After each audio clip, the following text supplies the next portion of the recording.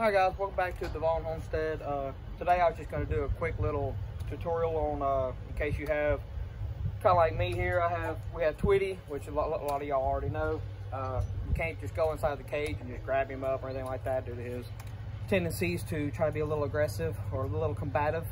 Uh, so what, what, we have here today is what's called a chicken hook. Some people call it a chicken catcher. Uh, this one here I got off of Amazon. It was around 27, 28 bucks. You can link uh, it below. Yeah, yeah, I'll, I'll, try to put a link in below. This one here extends out to five foot, as you can see. Uh, kind of depending on, you know, if you're trying to catch one in the yard, it'll give you that, you know, much needed reach to be able to get out there. Basically, what you're going to be doing is grabbing their leg. So basically, all you got to do is get up in there, pull back, and it'll hook on right above their foot or at the top, kind of top area of their leg. Uh, I'm to go ahead and demonstrate real quick on Tweety here.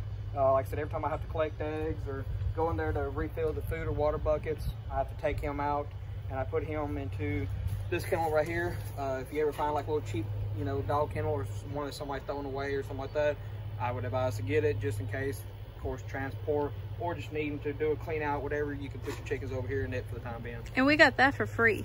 Yeah. And a lot of times people throw them away because the bottom's busted or they're rusted. Yeah, and of course with chickens, it don't really matter if you got some bottom or not. So, without further ado, we're gonna go ahead and show how we extract Tweety from his cage. And Tweety already knows what this is. He does not like it. He will try to grab it, peck at it, whatever he can to keep from getting it. So basically, I just hold the door open, crack just enough that I can reach in. As y'all see, he does not like it. He knows exactly what it is. But basically, just try to hook into the legs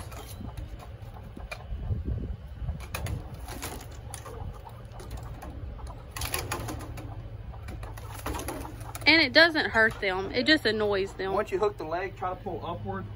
And they always kind of end up flipping around. Keep that one leg in the air. Again, that kind of causes them to be face down. So you can safely grab the one leg, grab the other. You then have the chicken. As you can see there, there there's a little close-up of Tweety.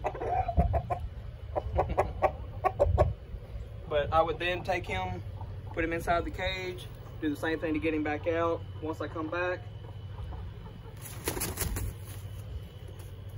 I jumped.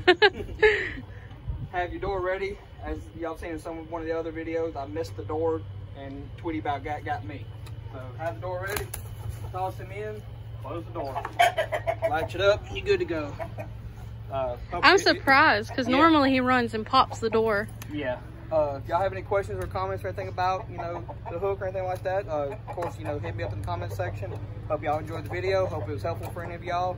Please enjoy. If you don't mind, subscribe, share. Again, I hope to see y'all in future videos. Have a great day.